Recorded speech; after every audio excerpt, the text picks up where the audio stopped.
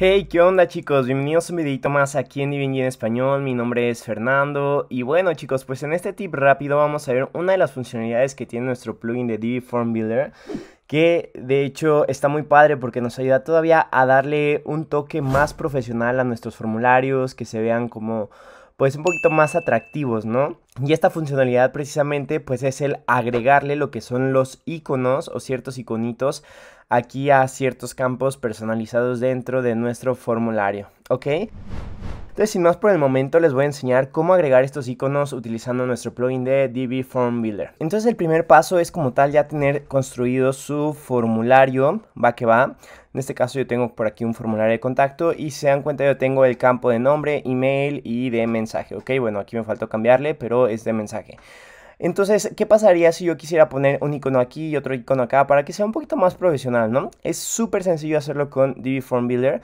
Nada más, eh, ya que tienen construido su formulario, simplemente hay que irnos aquí a configuración y ya que tienen sus campos, nos vamos igual aquí a configuración, ¿vale? Después nos vamos a donde dice Layout Options y nos vamos a ir aquí al apartado donde dice Enable an Icon on the Input, ¿ok? Entonces simplemente ya le damos aquí en habilitar y súper sencillo, miren, por ejemplo, yo aquí puedo buscar eh, people, puedo buscar mm, person.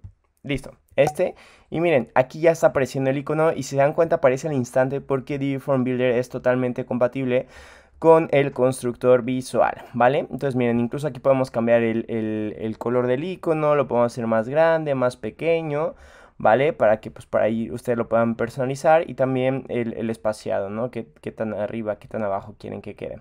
Entonces está súper padre, muy bien. Igual lo mismo voy a hacer por ejemplo con email, entonces me voy aquí otra vez a configuración, layout options, enable an icon y aquí voy a buscar por ejemplo el de email, ¿vale? Igual le voy a poner un color y listo. Entonces, súper sencillo chicos, realmente está eh, muy padre esta función porque nos ayuda a darle pues más estilo todavía a nuestros formularios, que sean más profesionales. Sin embargo, si hay ciertos campos que no tienen... Eh, la opción, por ejemplo, este mensaje me parece que no tiene la opción de poner un icono, ok, miren, por ejemplo, aquí no está en Layout Options, pero sí tiene la función de añadir una descripción previa, ok. Entonces ya sería cuestión que ustedes vayan jugando con cada uno de los campos que tenemos disponible para que vean en cuáles sí podemos poner ciertos iconos y en cuáles podemos poner otras opciones, como por ejemplo en esta, pues la descripción. Va que va chicos, pues nada, espero que les haya gustado muchísimo. Por ahí los invito a que se suscriban a nuestro canal si aún no se, han, no se han suscrito.